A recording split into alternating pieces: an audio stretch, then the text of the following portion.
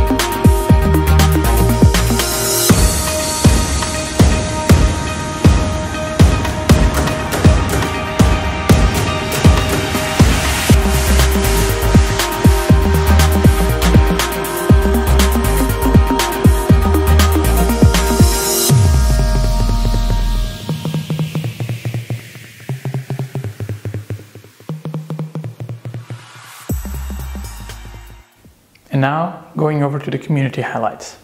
As a long ongoing challenge, the community has been providing help to OutSystems to translate the system components into several languages. Last week, new versions of the Translation Excel for Italian and Spanish have been made available. If this is of your interest, either because you just want to improve the translations on your application or want to contribute to the challenge, you'll find the link to the post below. In there, you'll find the guidelines that you should follow and instructions on how to get the necessary resources. As for Forge releases, OutSystems is present again, with the release of the new version of the data grid component. On this new version, the grid column number now supports decimal numbers, and the functionality for the suppress menu option is now working as expected. Also, a few style tweaks have been made to the component. And as for this week's deployments by the community, these are the following picks.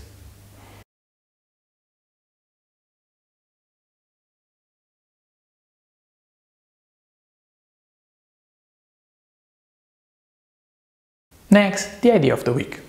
This past week idea that has captured more attention in the OutSystems community is by Pedro Costa. What he proposes is for the Forge to allow us to update our components that are in the previous versions of the platform. And with that, we wrap up today's edition of the newscast. Thank you for watching and please join us next time for more OutSystems news by OutPower. Have a great day.